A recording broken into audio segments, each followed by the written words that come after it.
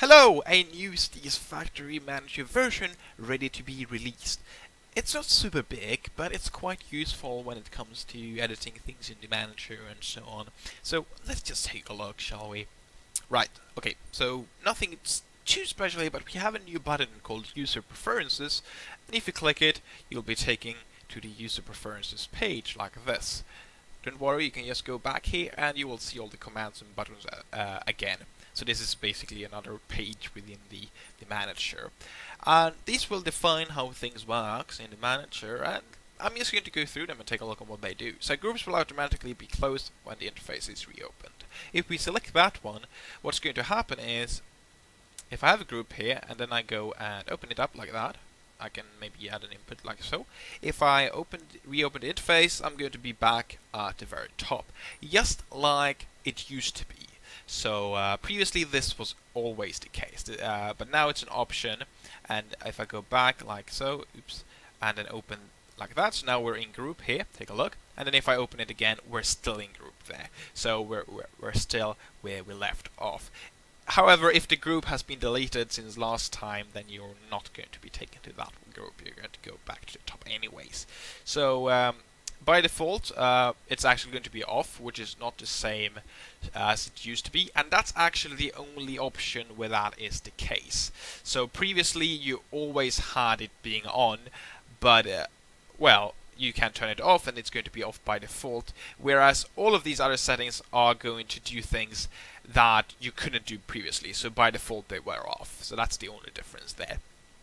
Okay, so if I select this one, uh, click on the top part of the command, we'll open or close it.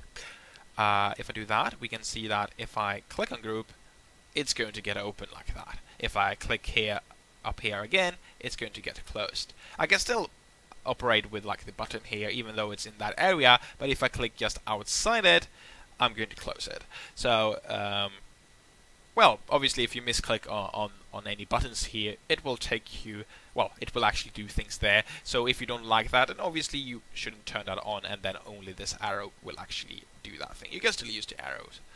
Right, now, okay, so here we have the same thing but for menus. If I do that, we can see that if I click on content here, it will open like that, open and close when I click. And we can see the same thing here, like that so I don't have to press on this little arrow. The arrow itself still works, of course, because it's on the menu anyways. Right. Okay. Then I have this one. Enlarging a group command automatically opens the group. Right. So what that means is the following. If I open this group by clicking on the arrow, we're going to actually go into the group. So now we're in the group and can see the input like so. Uh, it says group here and everything.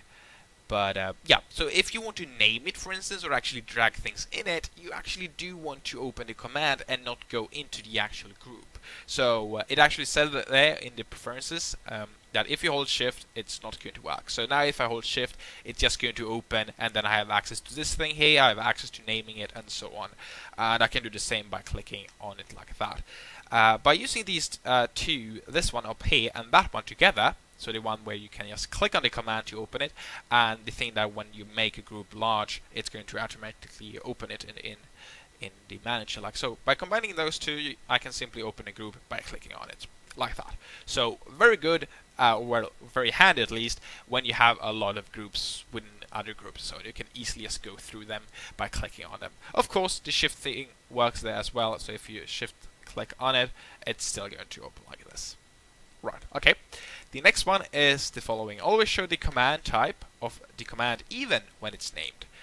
So what that will do is that if I rename this, holding shift to open it, uh, my silly thing. So this name isn't really that good. You don't know what type of command it is, but lucky for us, it's still going to say group here on top. So now you don't really have to put it as part of the name, so this is still a group and so on, because you uh, will, will see, always see that on top. Of course, only if you have that setting. So if we do it uh, with this input, we can see that if I say uh, command 3 like that, it's going to say input on top. So if it's not named, it's not going to say that, but otherwise it's going to show that. Uh, so if I do that, it's going to lose its name like that.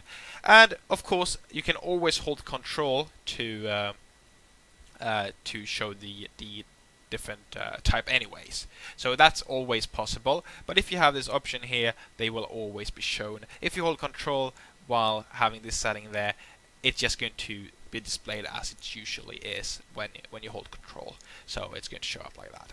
But but quite handy because then you can always see what type of commands it is.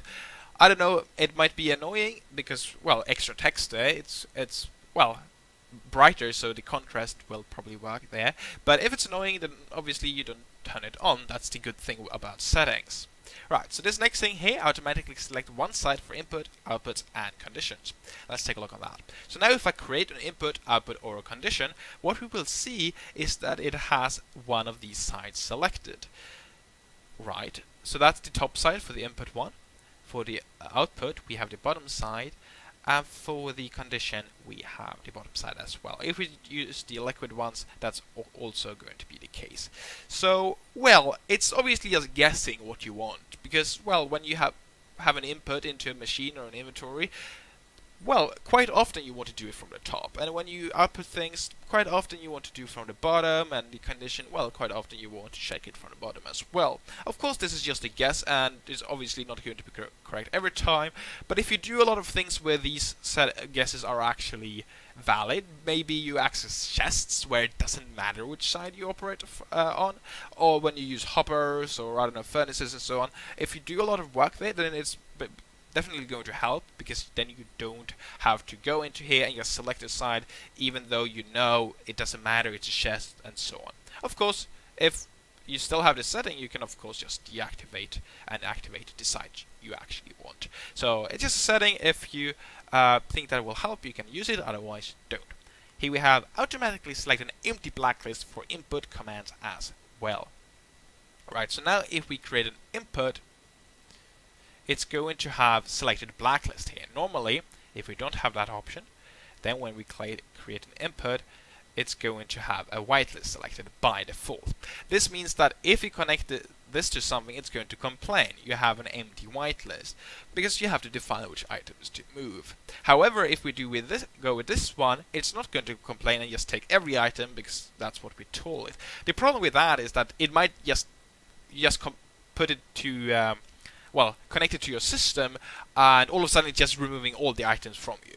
And you didn't even have time to set it up properly. So obviously you don't have to uh, connect it to everything else right away, but if you do want that security, then the whitelist option is still there, which means that it's not going to do anything unless you actually add some items that you want to move.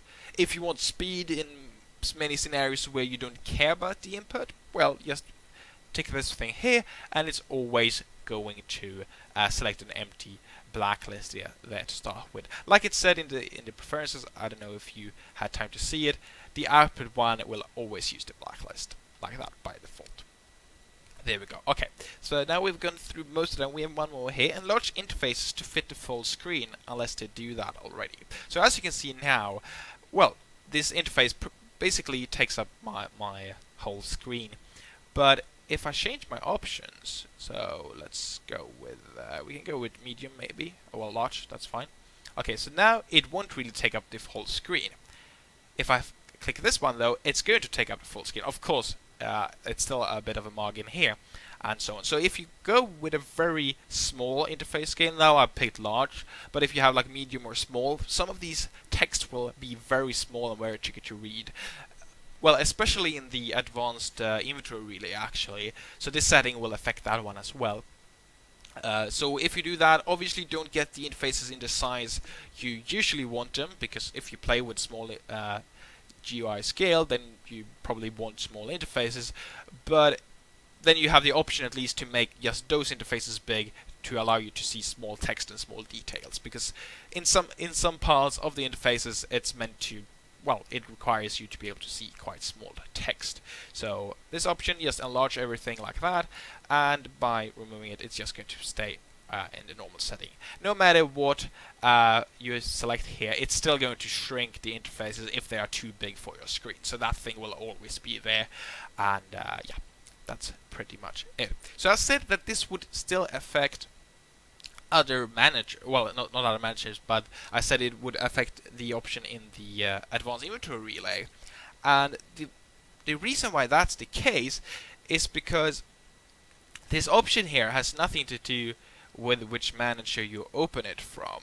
Uh, as you can see, all my previous settings were there. These settings are for you only. They are not shared on the server with the other pe uh, people uh, on there. And actually, if you join another server or another world or whatever, these settings will still be intact. The reason why that's the case is because these are user preferences, not really changing the actual behavior of the manager, which, well, is is up to you anyway. So if you want to be able to open it by clicking on the command, well, then select this one. If your friend working on the same manager don't like that, then that person shouldn't select this.